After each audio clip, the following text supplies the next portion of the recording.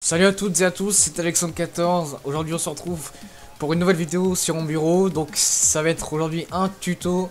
Donc ça va être euh, comment euh, booster ses FPS euh, et optimiser Windows 10. Donc ça marche sur les autres Windows, oui 8 et 7 essentiellement. Donc je vais montrer tout ça. Ensuite la deuxième étape ça va être... donc la première étape ça va être de jouer sur les effets visuels de Windows. Donc là on peut gagner 15 10, entre 10 et 20 FPS, ce qui est pas négligeable aussi.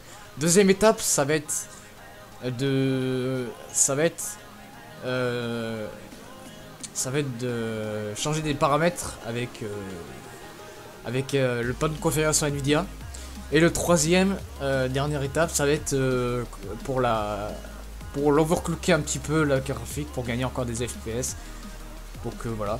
Alors on commence tout de suite par la première étape, c'est parti. Voilà, première étape. Alors, première étape, ça va être... Euh, on va jouer sur les effets visuels de Windows. Donc, j'ai montré tout ça. Alors, euh, vous, tapez dans votre recherche panneau de configuration. Vous tapez panne, panneau configuration. Ensuite, vous allez dans Système. Ensuite, vous allez dans Paramètres Système avancé. Là, Paramètres. Et donc, c'est ici, ça va jouer. Donc, déjà, vous faites laisser Windows choisir la configuration. Donc, après, vous allez décocher euh, ça. Vous allez décocher ça euh, ça c'est au choix si vous voulez. Euh, ensuite ça, ça c'est déjà décoché. ça, ça. Ensuite, ensuite, ensuite ça, ça, ça, ça, et voilà. Donc là vous faites appliquer.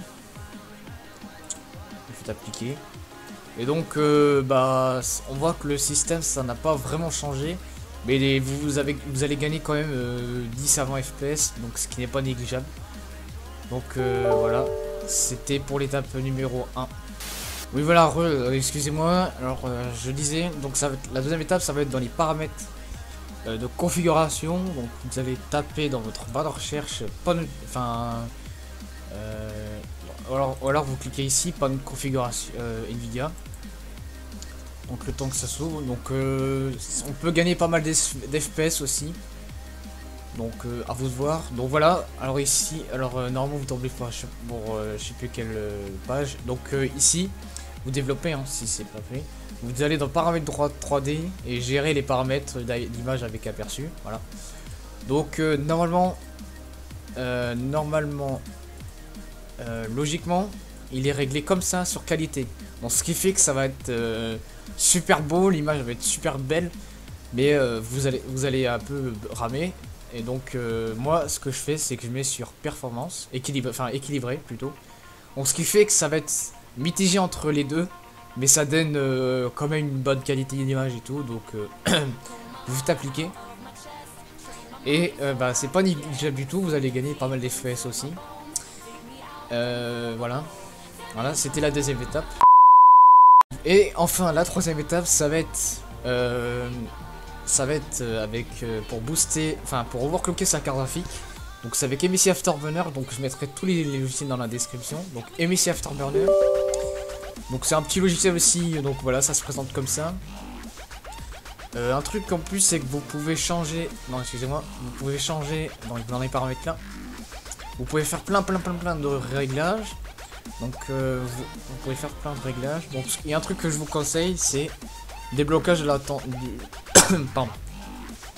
Déblocage du contrôle tension, comme ça bah voilà. Ou alors si vous voulez, vous pouvez le laisser. Décocher. Donc vous pouvez contrôler votre ventilateur, vous pouvez voir la température, donc c'est un logiciel vraiment euh, efficace. Euh, gratuit, donc c'est gratuit.